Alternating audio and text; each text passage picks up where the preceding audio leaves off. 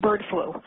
Um, we, um, we have a federal agent who is aware, who has taken the documents to many agencies, including New York State Police, the FBI in many, many states, um, infection control disease. And what um, this trucker reported was that he works for Department of Homeland Security. Um, he's a Spanish man who um, is trucking an independent truck. He goes down to the corner of Broadway and Clinton in Albany, New York at the Department of Homeland Security facility every single evening for loads. He said there are Raymour and Flanigan's and JB Hunt trucks ahead of him loading, that he has taken loads from a silo above Glens Falls. His truck actually was lowered into the ground into a silo. When the truck came out of the ground, he was given a shot in his arm to told to protect his family. He transported um, iced refrigerated loads to the Pentagon, Baltimore, um, Maryland, uh, Tucson, Arizona. Um, he was told that it's a, um, he he told told the federal investigator how he's getting paid through the Bank of mm. America with a number. He walks up to a window. He he presents his number. He is taken to a back room and paid in cash. He showed the federal agent $100,000 worth of receipts because he gets $5,000 per load, and he's done as many as three loads per day. Okay, now wait. Let me just stop you right here because this is amazing information to say the least. Now, perhaps he is transporting vaccines refrigerated vaccines. Is that a possibility? Anything that has to be iced either has to be an antigen or an antibody. That's all we know.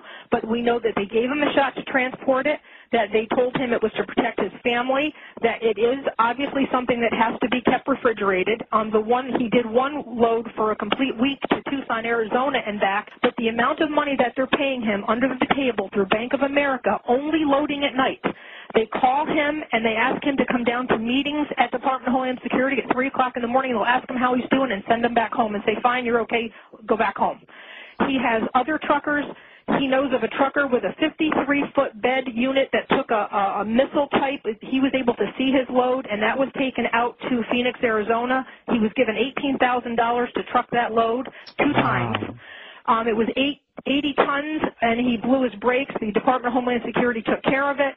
Um, he also has been to two silos. He's been to many cities with his loads. He's continuously working for Department of Homeland Security, and they are reloading, lo, relocating him since the since the federal agents and the state police were notified.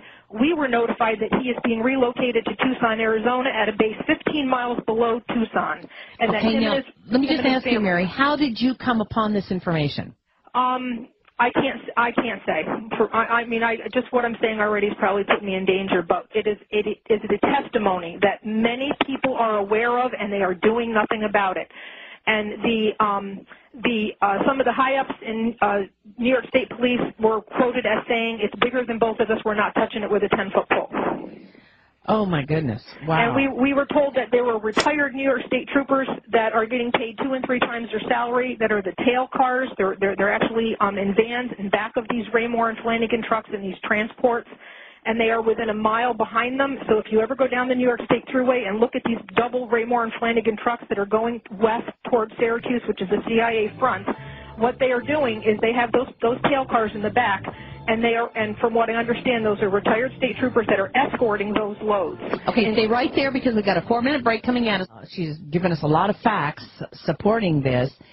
Mary, what do you think all of this means? He actually gave testimony to the names of the people that are running the show. There's a retired three-star uh, African American general that's in Albany. That's that's there late at night when he does his pickups. There's another guy named Fatah who is Muslim. There are many white suits. Um, they're all the truckers, not just him. He named five of them are being paid through Bank of America with their in, independent numbers. He has a uniform that he wears, which is a light blue shirt with blue with um, buttons down the front, short sleeve. It says Eastern Connection with a red and orange um, sewn insignia on the shirt. He has to wear black pants and white sneakers, or, they do not allow him to the facilities. He is not allowed to uh, stop the truck once they start it. Uh, they, to urinate, they have to either go in urinals or pee in the truck.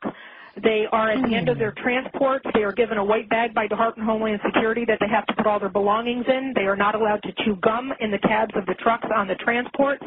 They are escorted when he's been to the Pentagon. There have been people with 45s around their waist in plain clothes that have met the trucks. And also on the slips that he gets paid.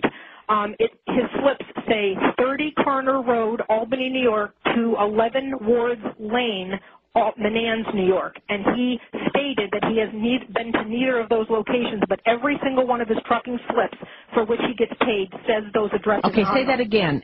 30? 30, 30 Karner Road, Albany, New how do you York. Spell, how do you spell K-A-R-N-E-R. Mm-hmm. 30 Karner Road, Albany, New York, to 11 Wards Lane, Menands, New York. How do you spell Menands?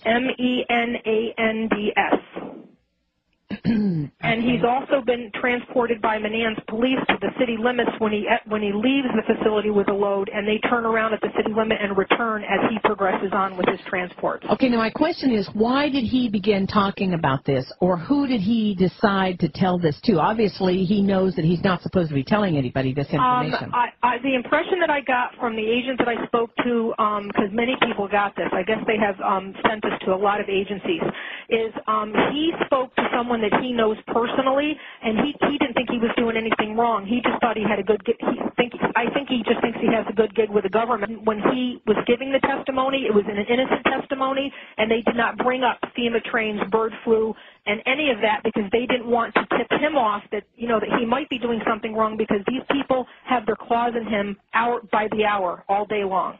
Okay. Um, this man said that the government told them that if he's good to them, they'll be good to him, and that they were going to take him to a place called Sandy Point in Maryland on the water for government people to, where it's safe when this was over, and then they have since sent him now to Tucson, Arizona with his family to relocate him on base housing, and all he has to pay for is food because this investigator has spoken to him three times. What I'd like for you to do is call me at the Power Hour, 877 817 9829. If you have any additional information on this or anything that we can do about this, um, give me a call and, and, stay abreast with me because this sounds pretty uh, discouraging, if you ask me. It's not just it's not just that. Um, he's had lead cars that that like he'll tell him they'll tell him where he's got to go, and he'll be going from point A to point B, and somebody will interrupt the trip and then divert him down a road. Um, he went to Glens Falls, New York, went to a dead-end street by a Stewart's by the Civic Center in Glens Falls, New York. They opened a gate and he drove six miles on a gravel driveway to an underground silo. When he when the truck came out of the silo after he waited with the other truckers for three hours while they loaded in secret, the people who were were, who appeared with the truck when the truck was coming out of the ground had Tyvek suits, the mask, the gloves, and the, all the works on. Um, he's also transported um, at the 109th Air Guard at Stratton Air Force Base. He did do 90 boxes of clear plastic white fluid. Um, he did see that load. Rarely does he see his loads, but apparently he loaded that at the uh, one, uh, C-130 at the 109th Air Guard, and um, he's done a lot of a lot of loads with these types of things.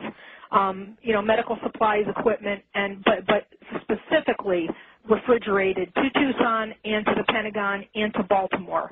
And he and I think I think that's it's up to no good. Um, along the New York State Thruway, there are miles and miles of car carriers that they've been adding to. There are has to be 30 miles of them right now sitting on the track since before Christmas that thruway, there are miles and miles of car carriers that they've been adding to. There are has to be 30 miles of them right now sitting on the track since before Christmas. That I could fit my whole city in this thing. Once you get around that bend near the bridge, you'll see how long it goes. I'll keep the camera running. We're at 20 minutes right now. Film I've taken.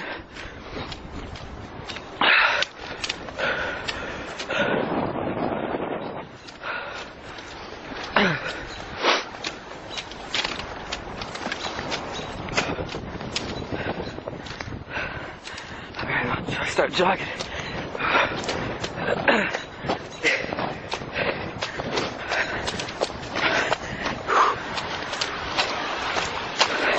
Take a look. Get out here. Look at that. Still going. All the way down. It's wide open. Doesn't end. It goes all around the bend here. Take a good look. Alright. Now I was gonna get lucky today. Oh, I'm inside one of these damn things.